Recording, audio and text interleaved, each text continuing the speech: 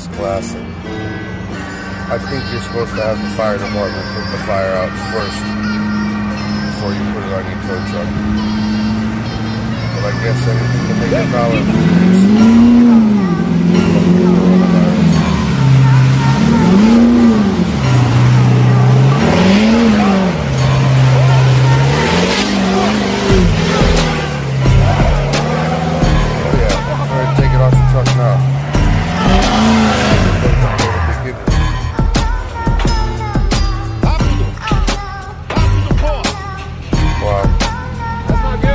good. Oh, no.